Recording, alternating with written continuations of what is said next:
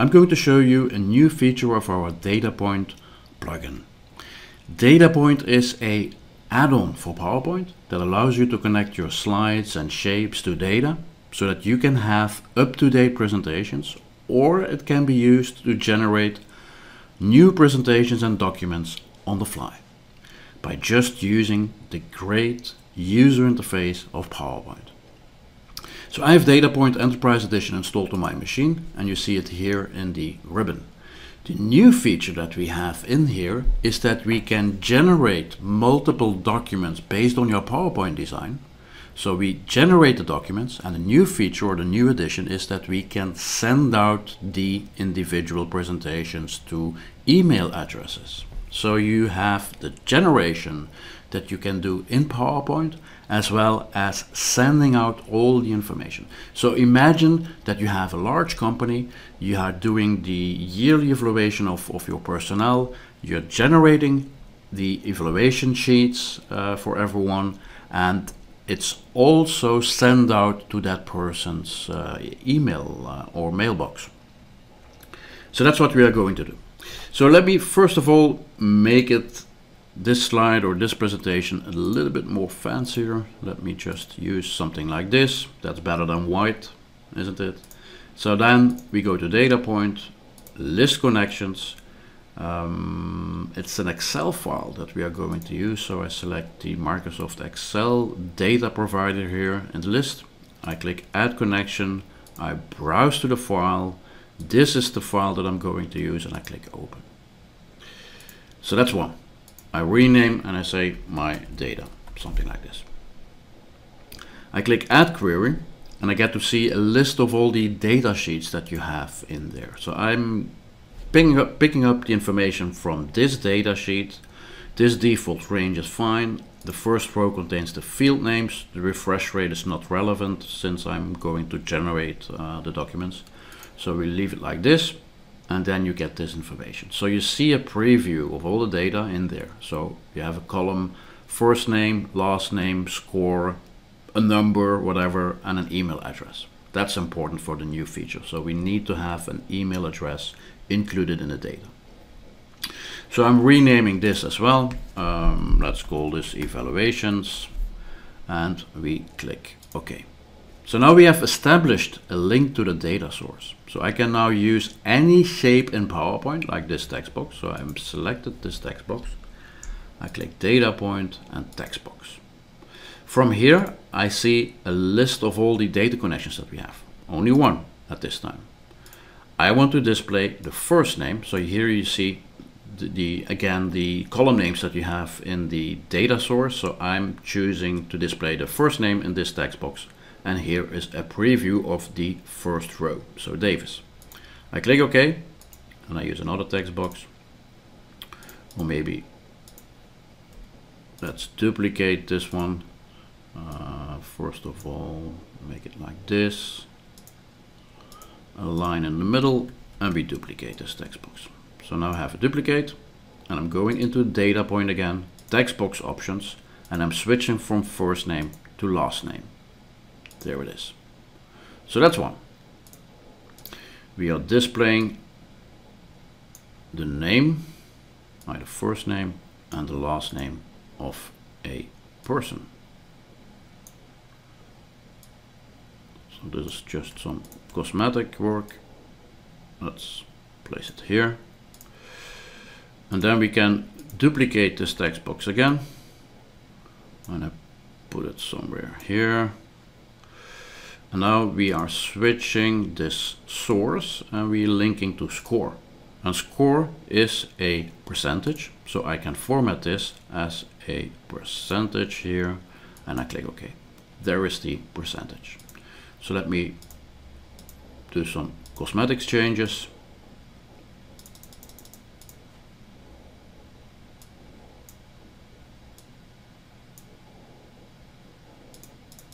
Something like this.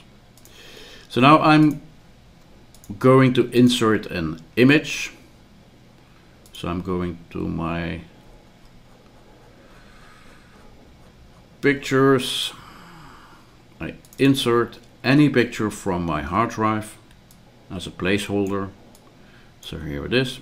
And I'm going now to DataPoint, click picture. Yes, I want to convert this into a DataPoint picture. So we have the data connection again, only one. And we have, let me show you, we have a folder like this here, where we have all the persons that we have in the Excel file and, and of those we have a picture, just a dummy picture uh, because we are not showing real faces. Uh, but it's a PNG file and we have it in this folder. So perfect. So we saw that the file name was based on the first name. So the column that we are going to use is first name. That's one. First row. What is inside the first name uh, column? So it's only the file name like this. So when I choose file name only, so it's Davis for the first name, the same as here. I can specify the folder. So now I go to my desktop. Uh, I know it's this folder there and the extension was PNG. So as soon as I type in PNG, then and the name is correct and, and the file name and the path is completely correct, then we get to see this image. So I click OK, and now we have Davis showing up here. So let me just format this so that the aspect ratio is fine. Um, and then, yeah, why not make this wide as well, uh, something like this. Um, and, and bold and shadow. So this is looking nice. So we have set up uh, a first slide connected to our data. So when we run the slideshow or when we open this presentation, that 17 value could be changed automatically if the source file data has changed. So if this became 25, for instance, in the Excel file, next time that we open this presentation, 25 will be displayed in here. That's done by DataPoint. Data point can do more, um, and we are going to make use of the scrolling feature. So when I click scrolling, I get this option. I enable scrolling. I say the step size is one row, the step time is five seconds, maybe make it three. When I run the slideshow now, I will see every row of my Excel file for three seconds just by using one slide. Yeah. So that's a very important feature that I have enabled on this slide. So I'm going back. So now I'm going to generate or I, I'm going to generate individual documents. So I want to have a presentation for Davis. I want to have a presentation for, what is it, Betty, and, and so on. So the snapshot save as button here is providing that functionality. So I click here and you see that the master connection is the connection that I'm using on this slide. That's correct, that's just some information. I can choose the column for the file name. So the file name, so we are going to generate multiple documents. So we have to give it a name. So I can say for, for instance that I am going to save this as davis.pptx. So that's why I choose first name here. I have to specify a folder where I'm going to save this information. So I have a C and then a temp drive is always helpful. New folder let's call this uh, generation. There it is. So now because I have set first name for the file name I have set the folder and I'm going to generate um, PowerPoint presentations. Then we will have a first file called like this so ctemp generation, that's the name that I gave the uh, folder. And David is coming from the first name column uh, at the extension pptx. So I can customize this further and I can say this is the evaluation evaluation of Davis. Uh, we can put a year next to that. So let me add a blank. So that's the file name that we'll get out of this. So this feature was existing already in DataPoint. So when I click OK, it's generating, I don't know, six, seven files that I have in my Excel file for all my employees in the company. But now this option is new, the mail to. And you can see that the mail to is not active. It's disabled here. Uh, it's not checked.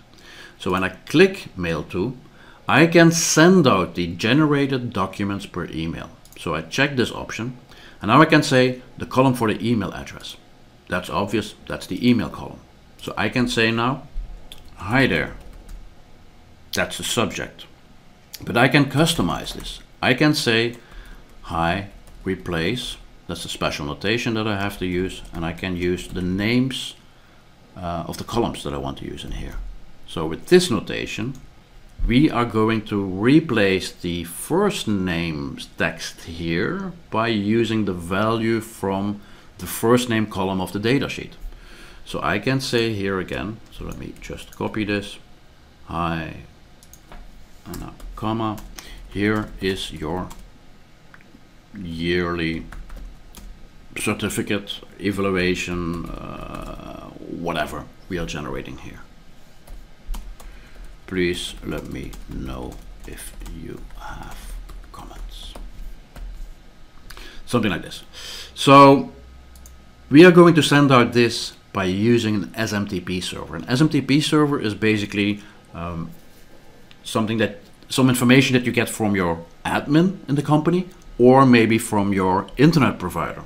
So for me, it's obvious. We are using the uh, Microsoft uh, Exchange. So this is SMTP Office 365.com.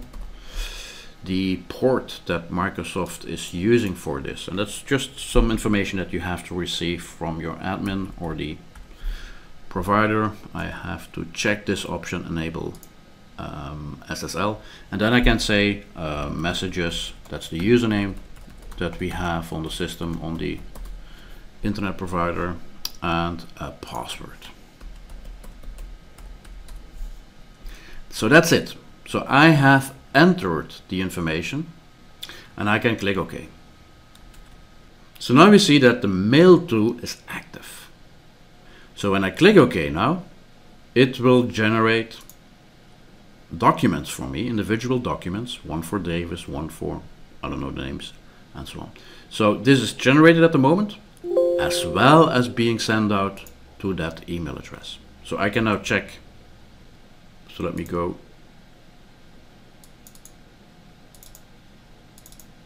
Here is here are the files that we have generated.